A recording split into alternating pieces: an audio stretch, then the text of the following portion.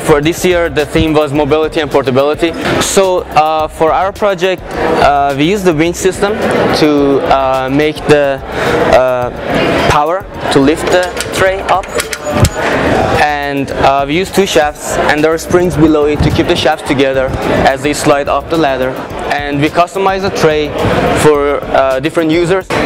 So there are roughly 17 million people with cerebral palsy in the world. Uh, around 33% of those people are unable to stand for themselves. So uh, these children that can't stand for themselves need a standing assistive device.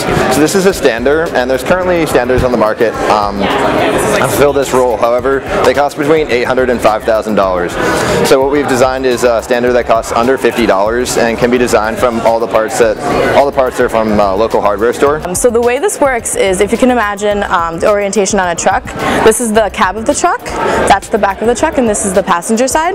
So the idea is that you would basically just crank a winch in one direction and the platforms would come down and then you'd load your materials up, you'd strap them in, and you'd just basically crank the winch the other direction and it comes back up. This is our load here. Uh, it's a 2x4 of steel, but you can put lots of lumber and then you basically strap it in with some ratchet straps that we've got right here.